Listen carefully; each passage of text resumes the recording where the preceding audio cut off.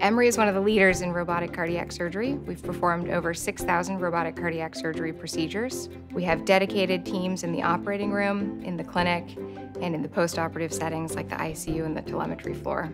Within our division, we have approximately 32 faculty members. Five of those are thoracic surgeons, uh, five are congenital heart surgeons, and the remainder are adult cardiac surgeons. With our robotic systems, we've now actually been able to do a lot of the intrathoracic operations. Using this technology uh, really changed the outlook and the recovery for patients with a very challenging prognosis. In 2002, we had the opportunity to to be enrolled in a clinical trial that allowed us to fix holes inside the upper chambers of the heart.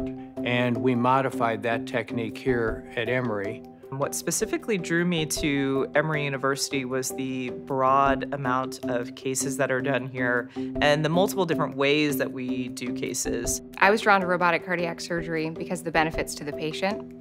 Patients are able to recover faster and return to their pre-surgery activities much sooner compared to conventional cardiac surgery. So when it comes to the future, we are going to continue to innovate. We're going to continue to push the envelope.